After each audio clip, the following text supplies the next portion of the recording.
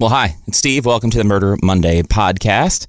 Hope you are having a great week. If you're listening uh, today, when I'm recording this, which is a Monday, because I recorded this yesterday and the audio quality was screwed up, so I'm having to redo it. Have you had that happen to you when you're working on something and it, you go to save it, and then when you open it back up, there's something wrong with it? Well, that's what happened to me with this audio file. So this is round number two for me for the Murder Monday podcast. So thanks for listening.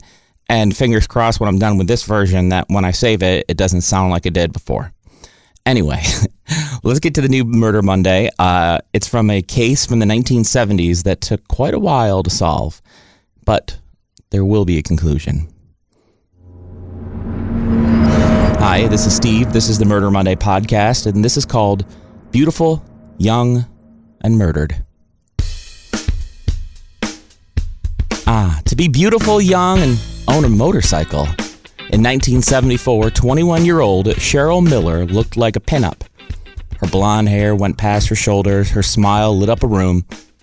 Cheryl, a popular art student, looked just like one of the cheerleaders that you'd see in a movie from back then. She lived on campus and had more than her fair share of suitors. And just to add a bit more interest, guys fawned over the fact that she had a motorcycle that she rode around campus. As she'd speed by, guys were left slack jawed at the beauty. It was near the end of the semester, and Cheryl, who was rarely single, was actually back on the market. She had broken up with her boyfriend, a foreign exchange student from Iran named Abbas. It was June 14th, and that evening, Cheryl went to the Scene Bar with a group of friends, including her roommate, Maxine. While at the bar, they ran into her ex, Abbas, but didn't really interact with him. And later that night, Cheryl decided to go home while Maxine decided to keep partying. Maxine, the roommate, got home at 6 a.m. When she walked in the apartment, she found Cheryl dead on the floor, bruised and beaten, scratches and cuts on her face, neck, and lips. It looked like a break in. The window screen was pulled out, and due to the wind from the storm the evening before, the curtains were hanging outside. Cheryl had been sexually assaulted and strangled to death. Police turned their focus on her boyfriend, the foreign exchange student. Cheryl's family said that she chose to break up with this man because he had quite the temper. But this wasn't the only man that police questioned. While doing the autopsy, police found dark hairs on her body. Her ex had dark hairs, as did another man that she was seeing her roommate Maxine's cousin. There was a third man she was into. He was six years older than Cheryl. His name was Gabriel, and he openly said that he had had a sexual relationship with Cheryl in the weeks leading up to the murder, but he was blonde and he was gone the night of the murder.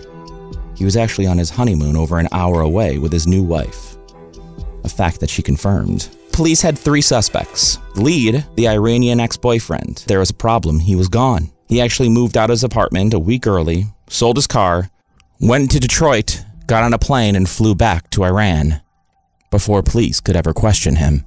Cheryl Miller was a young girl with her entire life ahead of her. And now she was the victim of murder. Who was responsible? Was it the man she had just broken up with? Maybe the married man? Or could it be her roommate's cousin that she had a short but steamy relationship with? We'll find out next on Murder Monday.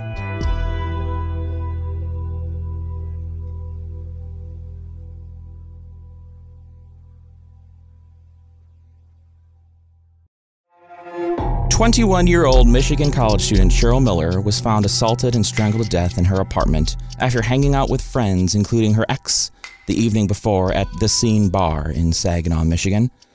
The blonde haired, blue eyed girl was a muse to many, and she told her parents that she had decided to break up with her boyfriend, an Iranian man, a week earlier due to his temper.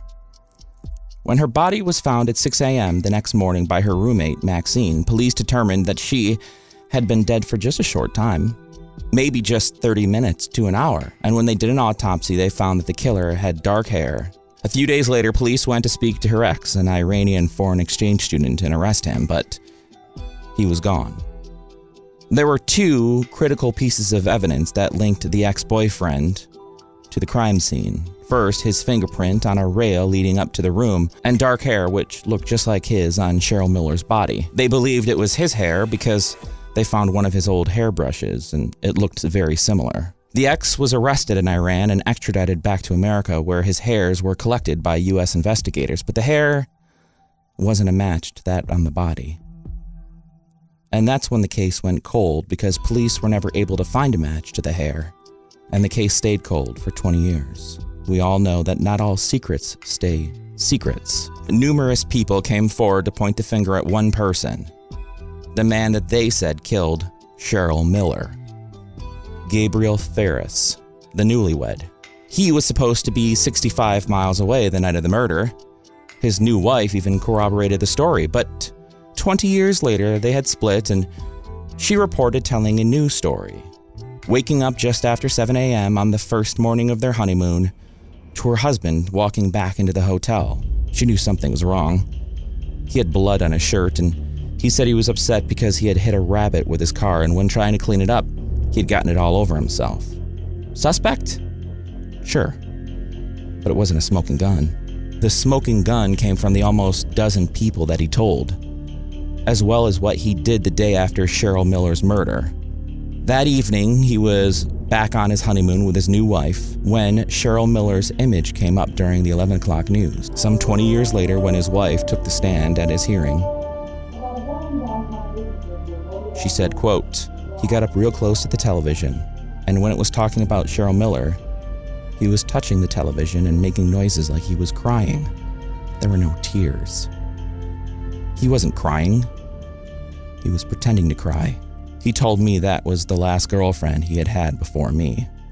Prosecutors would go on to claim that jealousy was the motive behind the murder.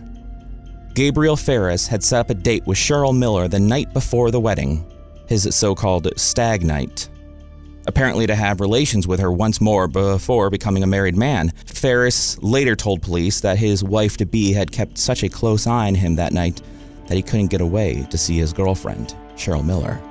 Prosecutors then theorized that Ferris decided to see Cheryl Miller at his very next opportunity, which turned out to be the first night of his honeymoon, the last night of her life. Almost 30 years after Cheryl Miller's body was found by her roommate Maxine, Gabriel Ferris was sentenced to life in prison without the possibility of parole.